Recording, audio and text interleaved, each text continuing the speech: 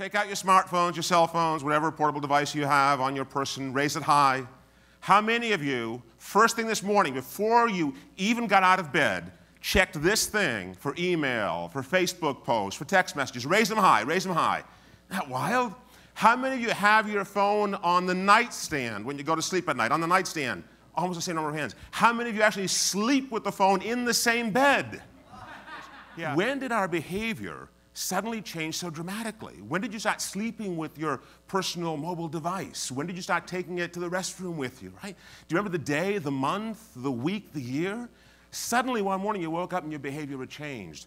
Simultaneously, so the invisible behaviors that we have are being somehow revealed, but at the same time, what else is being revealed to us? The behavior of the machine. So, what I want to try to do with you today is to help you understand how, in your businesses as well as in your lives, how you can better understand how to leverage this incredible asset called behavior. Our behaviors and the behaviors of these machines. And I will bring you to places that are very uncomfortable. I will talk about machines in ways that you don't want to talk about them. But what I hope to do is to give you a sense for why it's important for us to embrace this new normal how to enter this future with optimism rather with the gloom and the doom and the pessimism that so often we surround ourselves with. And there's, you know, there's, there's fear, there's reason for fear. I get that, I understand it. I value my privacy as well. We should have legislation around privacy. All of that I get. But we're building these digital selves that will have incredible value. And yes, we're giving away so much of who we are in doing that. But what we don't see yet, we see the fear, right? We see the terror. We see the reasons not to do it. We see the downside, but we don't yet see the upside. So your digital self is the single most valuable asset that humanity has created. There's one problem with your digital self. You don't own it. I don't own my digital self. It's owned by myriad other players, social media players, technology players. Somewhere in all this, I need to have an interest in that digital self. Be honest with me. How many of you are stuck in the past? You wake up in the morning and you say, damn it, I am stuck in the past again. How many of you? No one, right? Mm. But what if I were to tell you that we all behave as though we were stuck in the past? Hold that thought. Hold that thought for a minute. I want you to look at these ads. Think to yourself, you what year? What year did these uh, uh, series of, of ads called the You Will campaign by AT&T? What year were these broadcast? Did these air? When do you think it was? Pressing it, right? Because you saw GPS right there this AT&T knew exactly, when these things aired, they knew exactly what 2018 would look like. I mean, they hit the nail square on the head. Tablet computing. They called it sending a fax from the beach. Don't you love that? Right? Using the language of the past to describe the future. Uh, you're going to see WebEx here in a minute. What year was it? What year did AT&T air these ads? 88, someone said. 83, someone said. Yeah, believe it or not, it was 1993. 1993. They knew exactly what today would look like Netflix. Prescient? So here's the question I have for you. Anyone from AT&T in the room? Good, because they don't like this question when it gets asked. How the hell could you predict the future so well and not capitalize on it? How does that happen? They, they understood the technology perfectly. They got it. There's an answer, by the way, because the answer AT&T will give you, if you talk to folks that were around at that point in time that had the McKinseys come in and help them understand what the future would look like, their answer is, we knew it would be there, we just didn't think it would be this big. What makes that technology big isn't the technology. It's the behavior that we adapt and we form around that technology. That's what makes it big. For every major technology slash behavioral shift, there is a crisis of complexity there is a trigger that happens right in the midst of that crisis, and you can't predict the trigger. It just happens. It's, all, it's almost a divine intervention of, of some sort. Then, after the trigger, you have adoption. Sometimes the adoption is legislated. Sometimes it happens because it, it's a survival mechanism that we need in order to be able to continue to make progress as an enterprise, as individuals, as societies. There's a critical mass that you achieve, and a new value axis. And this new value axis is critically important because the old value axis no longer applies. You throw that one out. So what does this look like? So let's take that AT&T example, right? So over time, technology begins to progress. So AT&T knows that there's a progression that will lead to telecommunications and to digitization all the things that GPS, all the things that you saw up there. They understand that. They get the technology piece of it. The time between the introduction of that technology, usually, or its conception, and the point of crisis and the trigger is usually somewhere in the 40 to 60 year range. Any idea why? And you can go back for the last 300 years, and this number still applies. And if, in the book, I use multiple examples that we don't have time for here, but it, I'm, I'm fascinated by the time period. You want to guess why it's 40 to 60 years? Generational. Until a lot of us die off, the stuff doesn't take hold because we, we're like blockers, like you know, a, a, a, you know, a defensive line on a football team. We don't want to let that new behavior come through because the behavior is what? It's aberrant. Right? My kids are on the device 23 hours a day. That's aberrant behavior. They're being antisocial.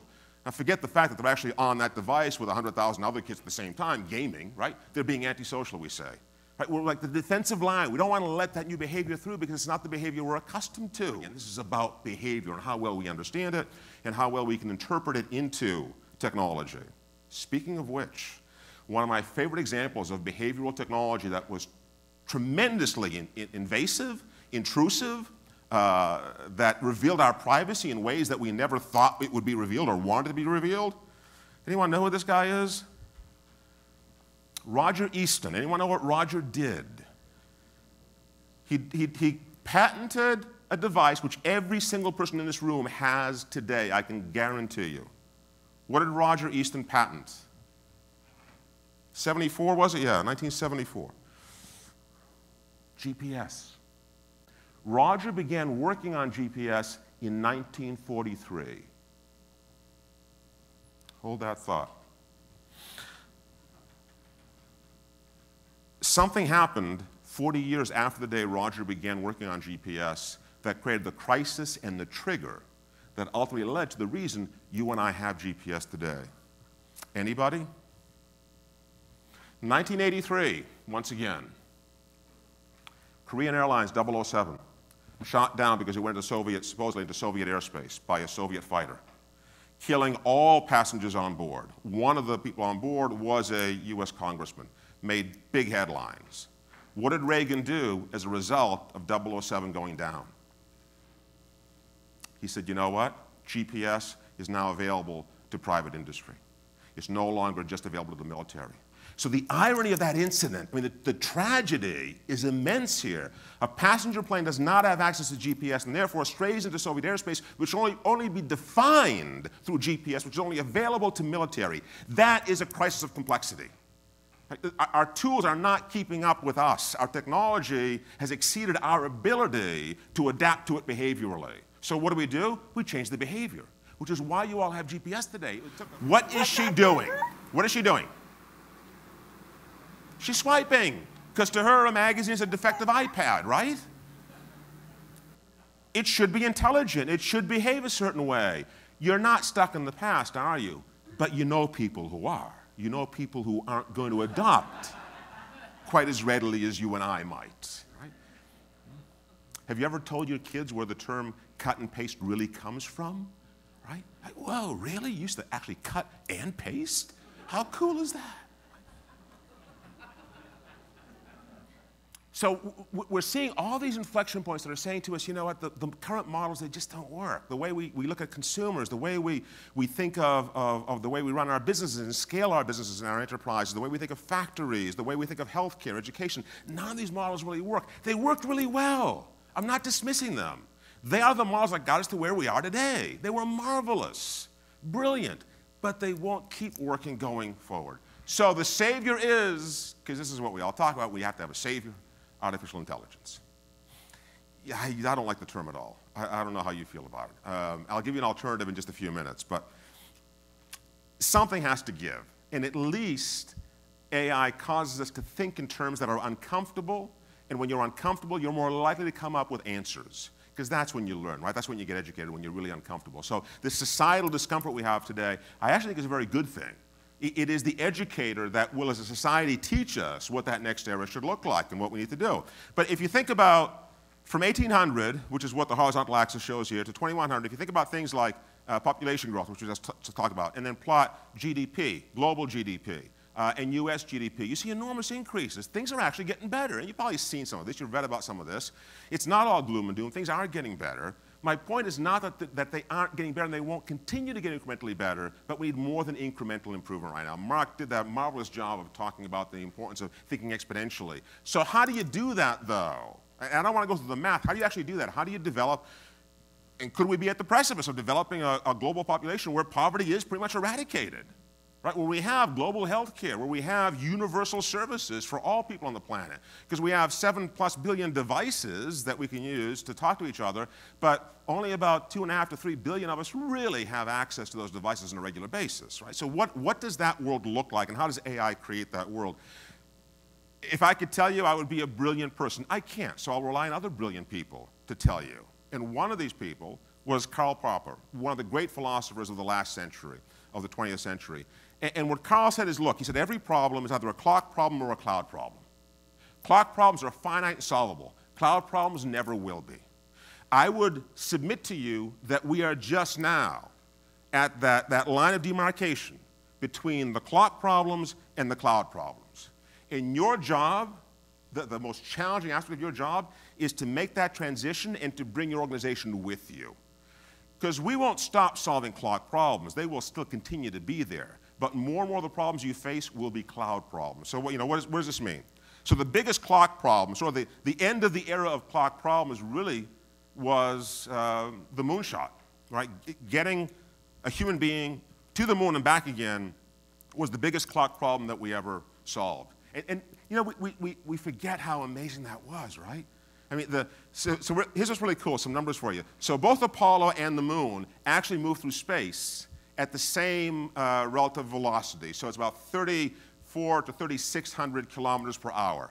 So, and that's, that's about four times as fast as a 38 caliber bullet. So imagine, right, two objects moving four times as fast as a 38 caliber bullet and, and rendezvousing a quarter of a million miles in outer space, right? That was the extent of that problem. And it was done, holy shit, if they had had one of these, they would have been, I mean, they had slide rules, right? Uh, can you imagine? This thing has hundreds of millions of times more memory um, and hundreds of thousands of times more processing power.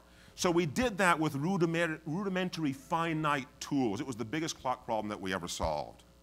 Clock problems are finite. Tic-tac-toe is a clock problem. It has exactly 250,000 total possible legal moves. End of story, right? It's solvable. Ideal clock problem. Uh, checkers and chess, also more complex, but they're brute force problems. So you'll hear from Garry Kasparov tomorrow. Wonderful uh, story. Uh, I'd encourage you all to be here for that tomorrow, first thing tomorrow morning. Uh, what Gary will tell you is that this wasn't AI. What beat him wasn't AI, it was brute force. So chess may be mathematically on the fringes of solvability, but it is solvable. It has a certain number of moves. Maybe it's 10 to the 20th, 10 to the 40th, 10 to the 120th, depending on who you talk to uh, and how they constitute legal versus illegal moves, but it's finite. But then you get to games like Go, mm, which aren't solvable. These are intuitive games. The number of moves in Go, if you include funky moves that may or may not be uh, legal, uh, on a 19 by 19 board is, is 10 to the 800th. I'll show you how big that number is in just a minute. Okay? But you can't solve Go. And yet, Google has, through DeepMind, created AlphaGo and AlphaGo Zero, both of which have solved the problem. AlphaGo Zero has actually solved it without any training. No human had to train AlphaGo Zero how to solve the problem. AlphaGo had to be seeded with certain rules by which it would you know, play the game against itself to learn how to play it. AlphaGo Zero did not. So we are on the fringes of creating AI that truly can teach itself, given a data set large enough, can teach itself. So how big is the magnitude of the problem. So on a log scale, because you can't draw this linearly, and I'll show you why. This is the number of moves to the power of 10 for each of these games. And I've thrown checkers in here as well. So 10 to the 800th, how large is it? If I were to draw this not on a log scale, but on a linear scale, the size of that bar for Go would exceed the visible bounds of the universe. That's how, that's how big the bar alone would be, trying to describe that in a linear, in a linear way. So the immensity of these problems, this is the crisis of complexity I was talking about. We are in the midst of it. The, pro the cloud problems we are trying to solve no longer can be solved with clock tools and clock approaches and clock methodologies and clock education. They can't. We need AI, and this will upset some of you, as a new species with which we can co inhabitate the future. So, we all know that we've gone through these eras. We all know that we've been able to do more individually over time because of these new tools that we have. So, you know, physical labor, muscle goes down, and brain power takes over, and we can do more as the individual. The impact of the individual goes up, but it's plateauing. So again, I would submit to you, and I'll show you a, a, a wonderful illustration of this in just a minute. I would submit to you that our abilities in, as an individual to solve the problem is not to diminish, and we will feel that frustration. We will feel that pain, and it will terrorize us because as we are less able to deal with the problem, we will feel that we are inept to take on the future. And that is so wrong. That is so wrong. Because what humanity does really well when it can't handle the future with the tools it has is it builds new tools. Okay, just hold that thought for a second. So, what does this look like as we, as we move beyond this? And, and my response is it's not about the individual. That's where we get it wrong. Right? It's not about using a 1800, 98% of the population of the world was involved in agriculture in 1800, but they were feeding a billion people. Today we have, what, like 2 percentage points of the labor force in the US involved in agriculture, but we're feeding, you know, close to 8 billion people? How does that happen? Because you're not using a plow horse and a plow to plow the fields.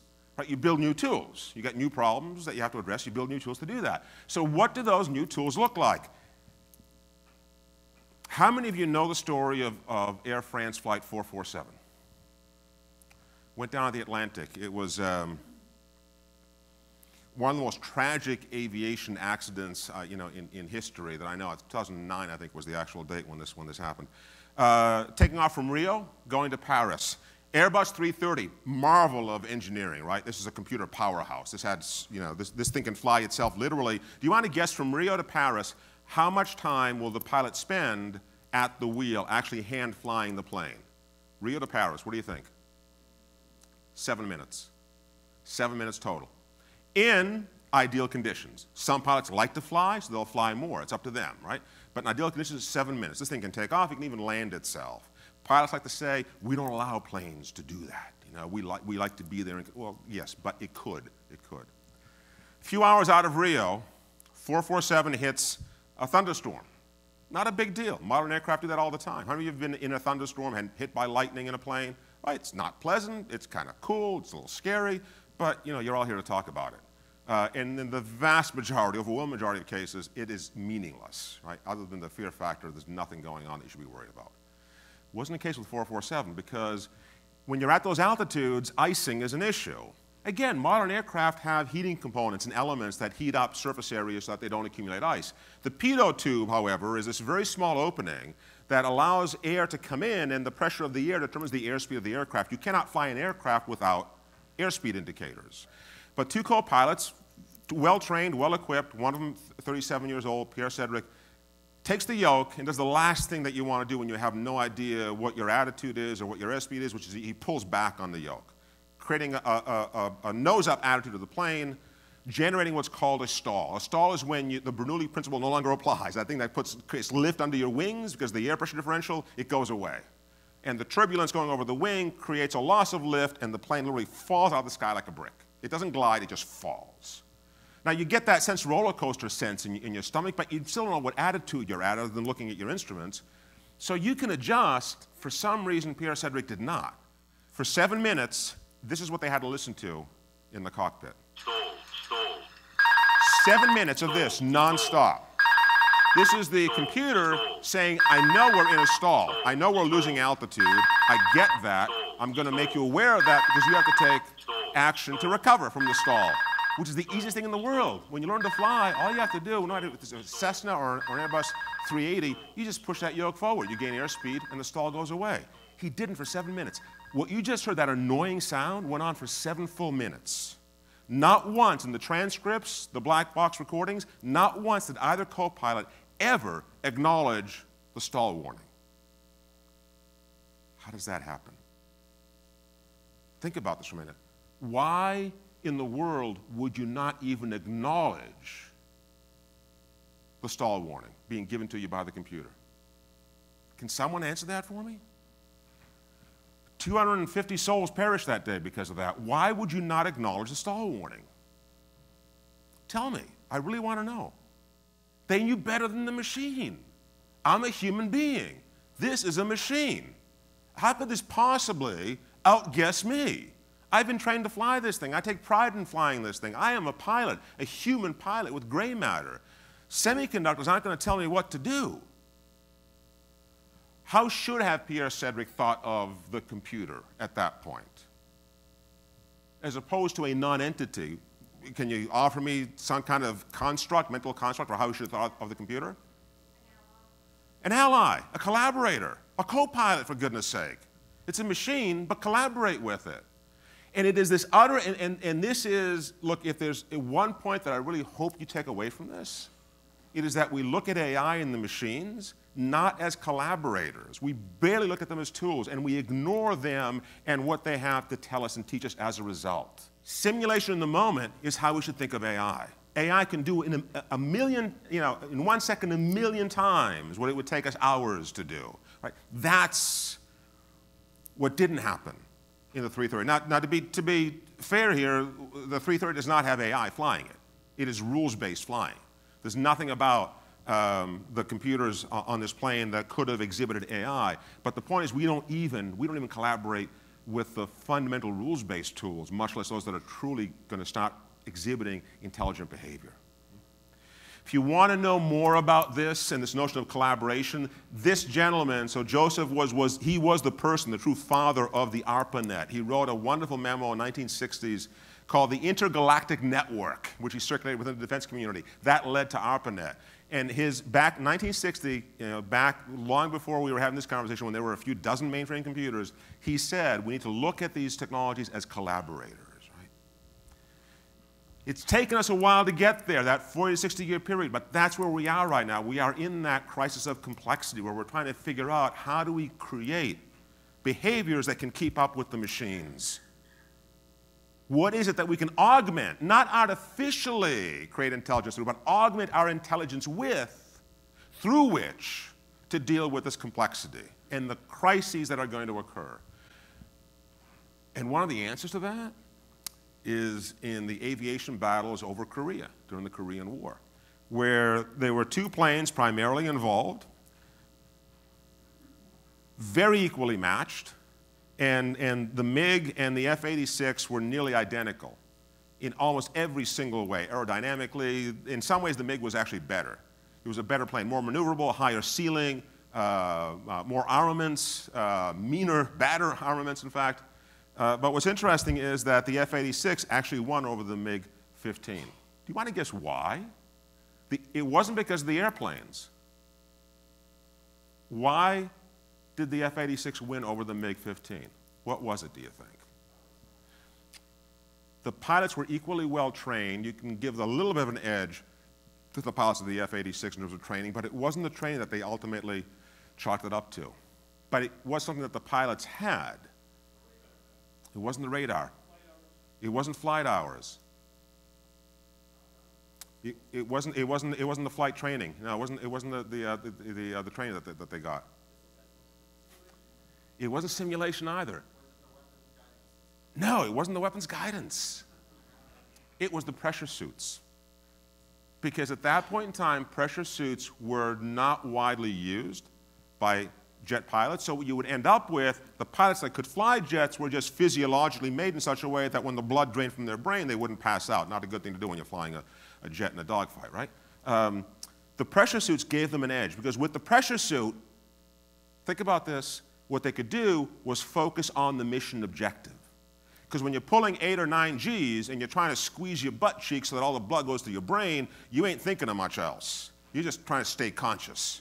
When you got a pressure suit on, you can focus on the task. Isn't that kind of where we are right now? Right? The technology, the technology has so exceeded our ability that we're fearful of it. You know, we can't maintain consciousness or, or clarity of thought because of it until it becomes a collaborator and we use it as a device through which we augment our capabilities. So will this put people out of work? Absolutely. AI will definitely put people out of work. There's no doubt. It'll kill entry-level positions. I mean, the whole way that you and I got into, you know, out of school, getting entry level, that is going to be decimated. But will it create an ability to apply human capital, ingenuity, brilliance, curiosity to bigger problems? Because the problems we have are much bigger going forward than they have been looking back? Absolutely. So I'm not saying this is without disruption. I know it is. I mean, we're not asking for it. No one wakes up in the morning saying, you know what? Christ, I just really want to be disrupted today. throw it at me. Right? No one wakes up and says, as a society, we want, we want to be disrupted. We want people to be put out of work. But we do this and we adapt and we end up in a place that we look back from and say, how did we ever survive without this?